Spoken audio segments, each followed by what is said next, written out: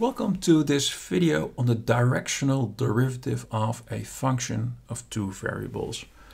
Let's have a look at what's being asked in this question. So we have a function of two variables, x and y, which is given by this formula here, x e to the power y plus cosine xy.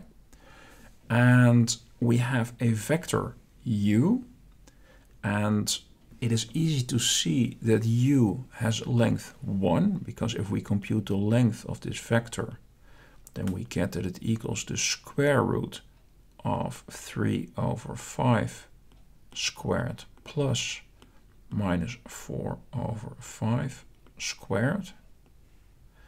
So that is the square root of 9 plus 16 over 25, which equals 1. So indeed, our vector has length 1. And hopefully you recall that normally for directional derivatives, we choose a vector, so here it's the vector u, that should have length 1. And then we look at how the function changes if we would walk in that direction. So if we would pick the vector with components 1 and 0, then we would have df dx. If we would have the vector with components 0, 1, we would have the df dy. And this generalizes that concept into an arbitrary direction. Here the direction 3 over 5 minus 4 over 5. So we are being asked to find the directional derivative at the point 2, 0. So x equals 2, y equals 0. Now, hopefully you recall the definition of directional derivative.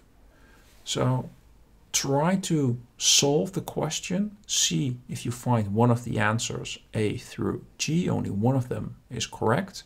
Um, try to solve it yourself and then come back to the video. So pause the video, try to solve it yourself and then come back.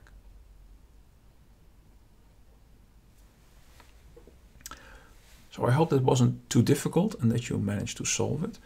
Um, the definition of the directional derivative du f at 2, 0 is that you should find the dot product of the vector u with the vector that is the gradient of f at the point 2, 0.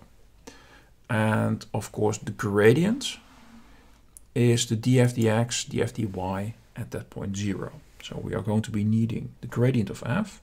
So the gradient of f is the vector with components df dx, df dy,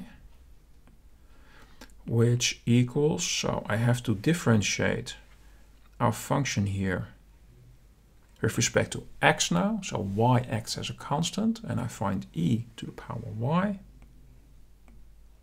The derivative of the cosine is minus the sine, And then with the chain rule, x is the variable, y is a constant, so I get times y. And for the second component, what I need to do is um, differentiate with respect to y. So x, x like a constant, I'm just copying that. The derivative of e to the power y becomes e to the power y. The derivative of the cosine, again, is minus sine x y. But now the chain rule gives us an additional x. So if I plug now in x equals, um, what do we have? x equals 2, y equals 0, then what we find is that the gradient of f at 2, 0 equals e to the power 0 equals 1 minus sine 0 times 0, so that's just 1.